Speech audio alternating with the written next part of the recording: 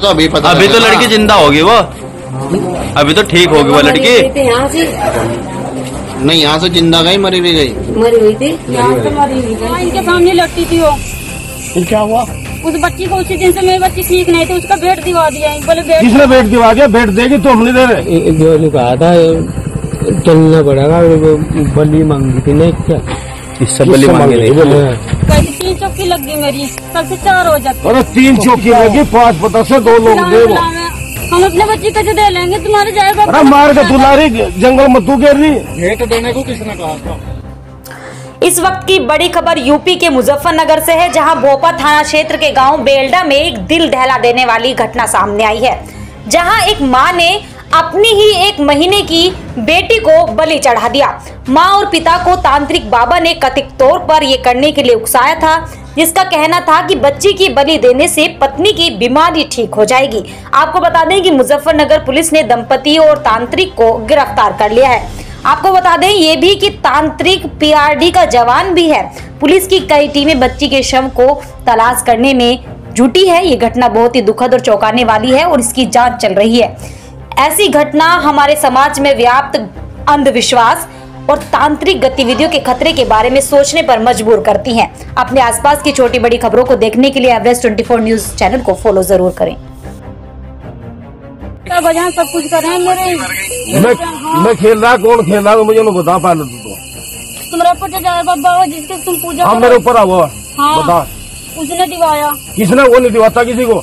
उसने कहा वो तो पाँच पता से फालतू दो लोग से फालतू देता नहीं को बने करते। उसने कहा था बोला इस लड़की को भेंट देना है तुम्हें। किसा? तुम बीमार हो रही थी क्या? हाँ मैं बीमार हो रही थी भैया। तुम वहाँ गई थी? हाँ इनके दौरे पास में गए थे। तीन चौकी लग गई मेरी। कल से चार हो जाती। अरे तीन चौकी लगी पाँच पता से दो लोग दे वो फालतू देता। हाँ तुम वहाँ जा चुकी। हाँ जी। तो चुरा जानी थी अब। हाँ जी। तो इन्होंने कहा था क्या बच्चे लाओ। हाँ इन्होंने खुद बुलाए बच्ची का बोले मेरे बच्ची को मेरे सामने लौटा दो। किसा बच्ची का बच्चे कहाँ लुटा दे उनको बता दे।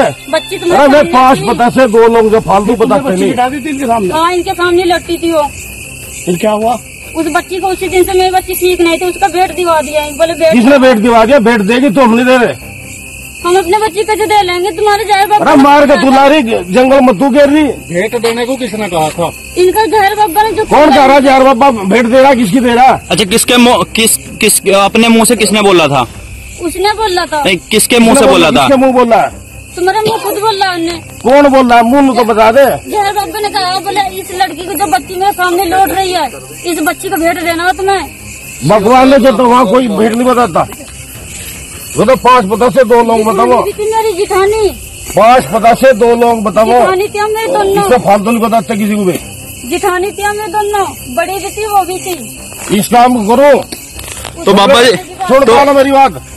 भैया करूँ? तो भैया बाकी पाँच पता से दो लोग से फालतू किसी को बताता। भैया पतासे और लौंग से आदमी ठीक हो जाता है?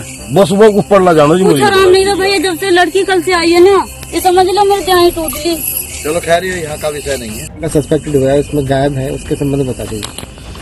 आज थाना भोपा पर एक सूचना प्राप्त हुई थी। एक दंपति द्वारा एक किसी तांत्रिक के प्रभाव में आकर के अपनी एक महीने की बालिका के साथ उसको उसके साथ उसको या तो फेंक दिया गया कहीं पर। इस संबंध में सूचना प्राप्त हुई थी। तत्काल इसमें सीओ भोपा, एसएचओ भोपा, पूरी भोपा की पुलिस टीम, फ़ील्ड यूनिट और डॉग स्क्वाड मौके पर पहुँचा है।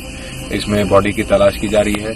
खेत में से उस बच्ची के कपड़े कुछ बरामद हुए हैं और इसमें डॉग स्क्वाड की मदद से सीसीटीवी कैमरास वगैरह भी खंगाले जा रहे हैं और फ़ील्ड यूनिट और डॉग स्क्वाड की मदद से जो है लड़की की बॉडी की भी उसको तलाशा जा रहा है। और इसमें माँ बाप तांत्रिक जो है वो सब पुलिस हिरासत में भी उनसे पूछताछ की जा रही है। इसमें डिटेल में बहुत डिटेल में जाँच की जा रही है और इसमें जल्दी घटना का खुलासा किया जाएगा।